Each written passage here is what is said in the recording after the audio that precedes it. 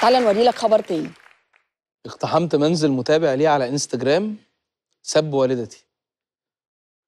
أنا يعني هو حكاها لي قبل كده. أحمد السقا راح. أيوه راح لبيت الراجل. راح جابه آه. أنت ممكن تعمل كده؟ هو لازم يعلى علينا في أي حاجة برضه. لا مش للدرجة دي طبعا. طب أنت هو. استقبلت الموقف ده إزاي؟ هو أنا ساعات كان عندي خناقة كبيرة مرة على ال social media كان حاجة مش فاكر مين. وهو كلمني. فقال لي أنا عايزك تهدى ومش عارف إيه و... فقلت له يا أحمد عمل حصل كذا. أنا والله مش فاكر الموقف يعني. فهو حكى لي دي بقى. قال لي أنا في واحد آه، دخل شتم أمي مش عارف إيه رحت جبته من البيت وبتاع. بس بعد ما جابه آه، يعني سابه. يعني أحمد غلبان برضه طيب.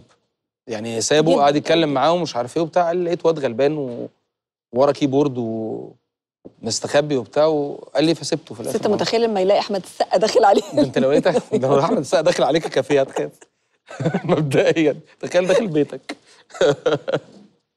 بس هو على فكرة هو الولد انبسط جدا. هو حقق اللي الولد عايزه. هو شاف أحمد السقا عنده في البيت. بس هي تخض برضه. ما أنت رايح شاتم آه، سبب والدته ف... ولقيت أحمد السقا في وشك طبعا. لا، هتخض لا، طبعا مشكلة يعني. مشكلة.